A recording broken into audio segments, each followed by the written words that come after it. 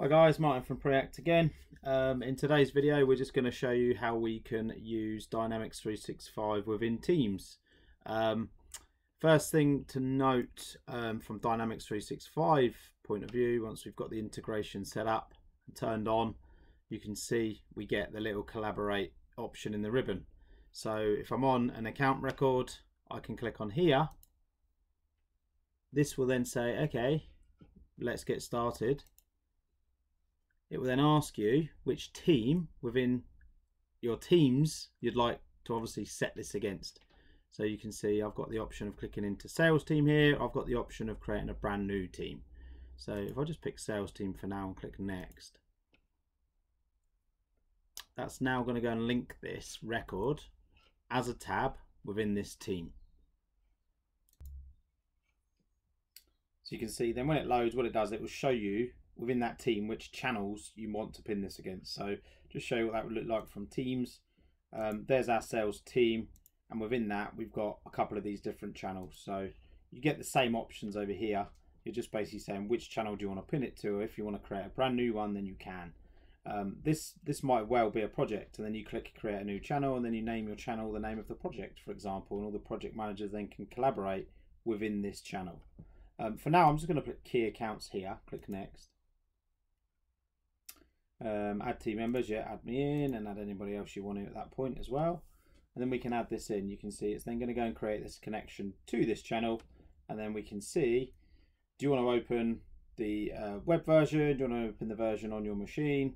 Um, I'm just going to open the web version for now. Click on here. And then you can see within Teams, within this channel, you get this um, record that you've just come from pinned in here. So you can see we've now got this up here pinned. A um, couple of things we can then do against this. You can see over here on the right hand side, we can then start a conversation. So like I said, if this is a project or a key account or something like that, whatever you want to look for, um, it might be that you have certain people that then we need to start collaborating over here and having conversations around this account, for example. So I could then just, you know, add a message in here, send this, this is in here. I might add a file so I can click attach. I can upload a file in here as well. Let's just pick something, there you go. That then goes against here, the same way Teams works normally anyway. Um, stick that in there, but equally now this will sit in the files tab up here, like so.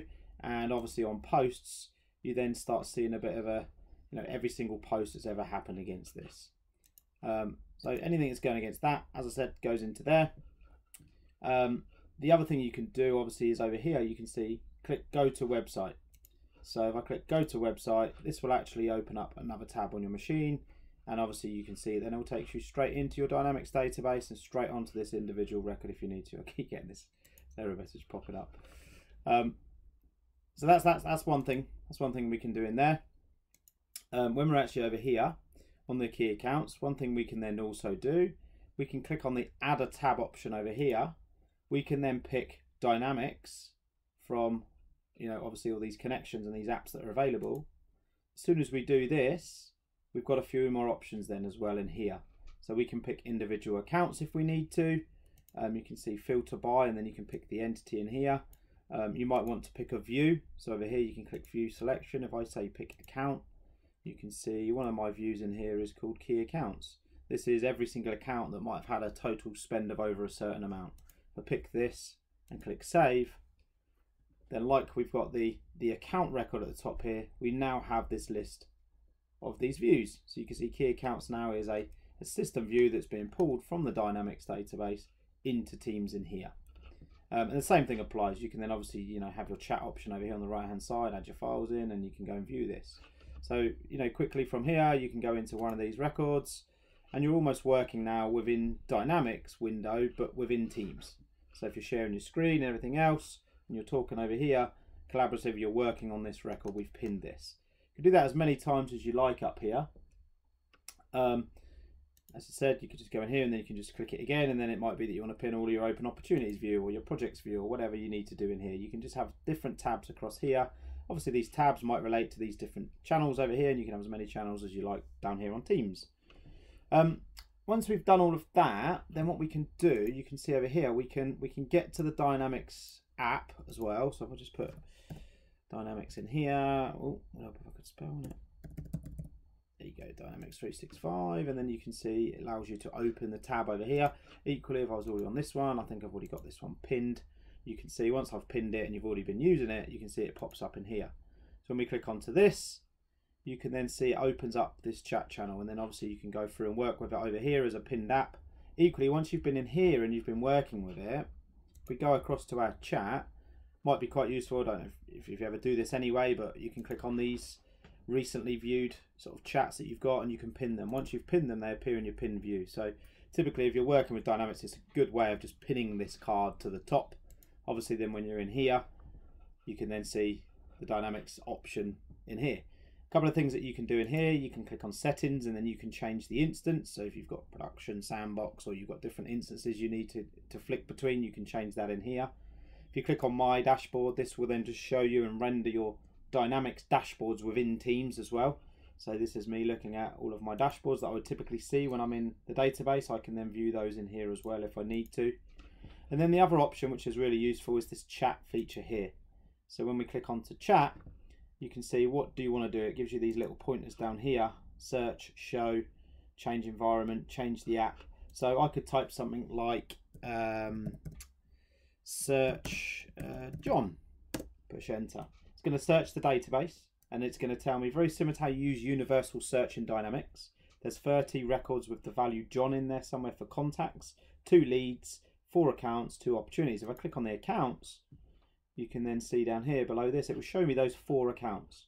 It's now showing me these four accounts down here. And then I can click into one of these. Again, I can click on this one and then you can see the bot will just give us a little insight into this. So we can see some preview details around this account, the spend, the owner, all this other detail in here. Um, if you want to see the contacts that work for this organization, you can click on here. If you want to see how many opportunities they've got as well, you can click onto this. It just shows you those, those records down here. Equally, you can click on showing or open in Dynamics 365 and it will do the same thing as what we did when we clicked on the pop out show the website. Just loads in another tab on your browser on the top here and it takes you to that individual record as well.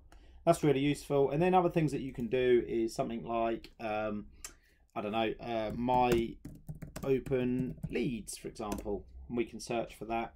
It will then pull up, you can see a list of all of these views and leads open this week, last week, everything else like that it might very well be that you want to say, well, show me all opportunities that are closing this month or something like that. And it's just going to go away, talk to the bot, and then the bot will return these results. So again, it's, it's quite useful if you're in here just to do this. So there you go. There's all my opportunities that are going to be closing. Based on my open opportunities view, there's 130 opportunities closing this month. Of course, then I can go into these, click into each one of these. I can then view this within here or I can click on the open in dynamics option again that you can see there. It's telling me that's that one. It's linked to this account. And then I've got the option of going straight into that and then working that opportunity in dynamics. Close the tab down and then I'm back where I was as well previously. Um, I think that's most of the features that we've uh, been using um, and our clients have been using when they've been using Teams and Dynamics together. Um, yeah, any other questions, please feel free to get in touch. But other than that, thanks for listening, guys. Take care. Have a good day.